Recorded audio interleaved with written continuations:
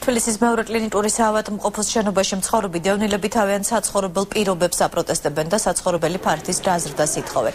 მათი თქმით, ასეთ სივიწროვეში უკვე 20 წელზე მეტია ცხოვრობენ, როგორც დევნილები აცხადებენ, შესაბამის სამინისტროებს დიდი ხანია მიმართეს, თუმცა მათ რეაგირება ამ დრომდე არ მოუხდენიათ.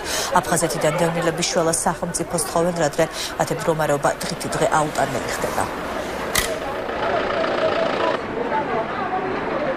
გადაიყვანეს ყველა ექიმები დიღმის მასივში გადავიდა, გადაიყვანეს და ჩვენ მისამართია რადგან ეგრე ვიწროთ ვართ მოვიდნენ და კანონება უნდათ ყველა წინააღმდეგობას გამოთქვამს რომ არ უნდათ. მიმართავს სახელმწიფოს თხოვნით ყველა დევნილი.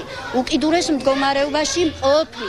რომ გაგვაფართოვონ ჩვენ ვითხოვთ გაფართოებას გვინდა რომ გავფართოვდეთ და ცოტა შესაძლებლად გქონდეს. სამე პირობები ტოლობლებთან განსაკუთრებით.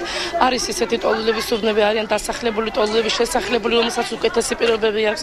ჩვენ კიდე ვართ 20 წელიწადი ვცხოვრობთ ამ მეორე კლინიკურ სამანტყოფოში. არანაირი პირობები არანაირი გასახლებასაც არ შეხვდა მინისტრი მაგრამ ჯერჯერობით არაფერი არ არის